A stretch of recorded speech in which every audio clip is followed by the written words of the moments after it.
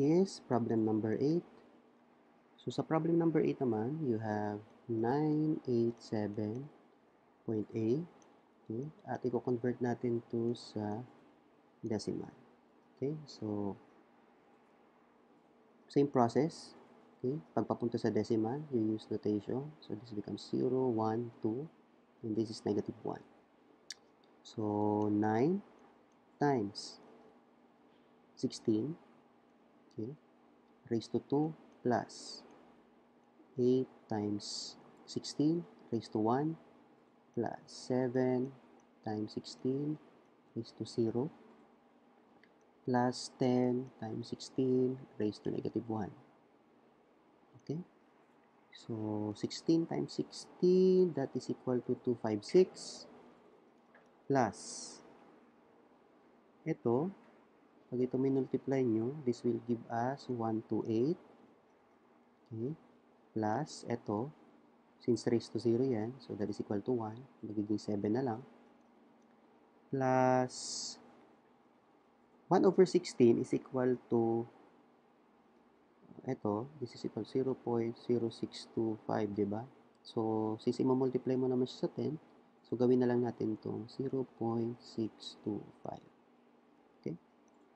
So, ito, pag minultiply na ang 256 tsaka 9, will give us 2304. Okay? Plus uh, 135.625. Ayan.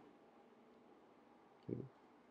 So, ang pinaka-final na sagot natin dito ay 2439.625. Okay? So, mapapansin nyo dito na yung step niya is almost la, repeating lang naman, paulit-ulit lang. Okay? So, number 9. So, ito naman, para maiba naman. Ano. So, 22.3125 i-convert natin sa binary. Okay, so dapat pala ganito, dapat para dinagdagan ko ng ganito ano. So, uh, decimal to binary. Medyo kulang ata tayo ng kulang ata yung problem na kino-convert natin direkta sa binary. Okay? So, dito ang process is since ito ay decimal at i-convert natin sa ibang number system, the process is sa decimal pa ay sa integer part, you divide it by the number system, yung base ng number system na kung saan mo siya i-convert. While the fractional part, we do the opposite. We multiply. Okay? So, 22 divided by 2, that is equal to 11. Okay, wala tayong remainder dito. So, 11 divided by 2 is equal to 5. May remainder ka na 1. 5 divided by 2 equal to, is equal to uh, 2. May remainder ka na 1. 2 divided by 2 is equal to 1. Wala kang remainder. So, 1 divided by 2. So, wala na yan. So, yun na mismong numerator mo ang remainder. Okay? So, that is uh, 1, 0, 1, 1, 0. Point. Okay. So, dito naman tayo ngayon sa uh, fractional part. So, 0.3125 times 2 kasi binary. So this will give us 0.6250. Okay? Pero kahit wala ng 0. So next will be 0.625 times 2 is equal to 1.25. Okay, so that kung iaano mo to, yung multiply, so 2 times 5, that is 10. Di ba?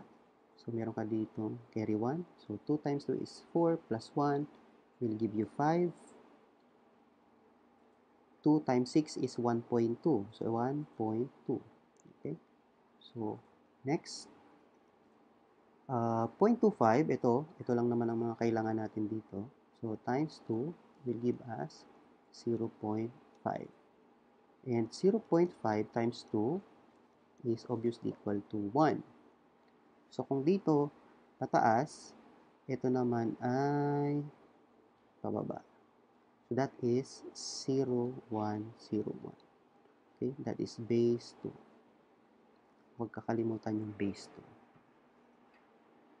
Okay, so last, yung problem number 10.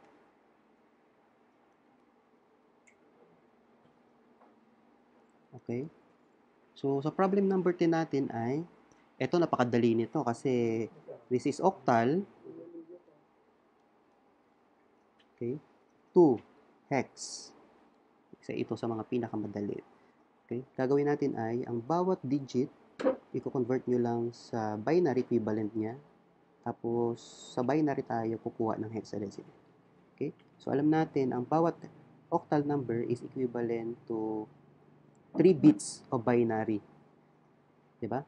So, this is 1, 1, 0. Yung 2, ay yung 6, I mean. Yung 2 naman, that is 0, 1, 0. Tapos, ito naman na 3 ay 0, 1, 1. Yung 5 ay 1, 0, 1.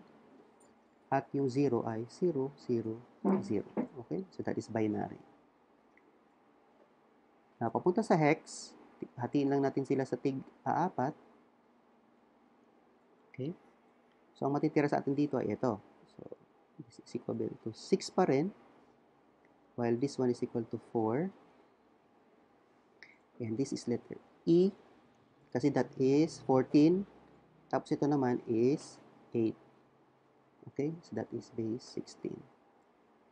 So, sagot natin dito ay 6, 4, E, 8, base 16. Na ito, merong correction doon sa quiz nyo sa Leons. Kasi nung tinype ko to as answer, okay, ito, ito, sa answer key kasi naglagay ako doon, ito yung tinype ko eh. Ngayon, iba pala ang pagkakaintindi ng Leons doon. So, ang ginawa ng Leons ay 64 E 8. Okay? So, ibig sabihin nun, ginawa niya exponential. So, ang sagot ata dun is 64 tapos meron kang walong zero. Ano? Parang ganito ata yun eh. Okay? So, na ito pinagtataka ko. Sa ilang beses ko na inactivate yung quiz, merong nag-attempt na nag-attempt. So, since nakalimutan kong i-off yung correct answers, nakita nila na ito yung sagot, ito yung kinopya. Okay? So, mali yun. Okay? Nahuli ko kayo dun sa part na yun. Kasi nakita ko may mga naka-perfect na eh. Anyway, quiz number 1 pa, uh, pa lang din naman. So, tinitingnan ko pa kung ano yung mga possible na mga problema at mga issues sa paggamit ng Leons. So, ngayon may mga nakikita na ako mga may mga nakit may mga na-encounter na ako ng mga problems sa side ng estudyante saka sa side ko. So, yun ang mga gusto kong solusyonan. Anyway, so, until next time. Okay? So, dun sa mga pasado sa quiz, congratulations. Doon naman sa mga uh, hindi uh, umabot sa cut-off, So, better luck next time. Marami pa rin namang quiz na darating.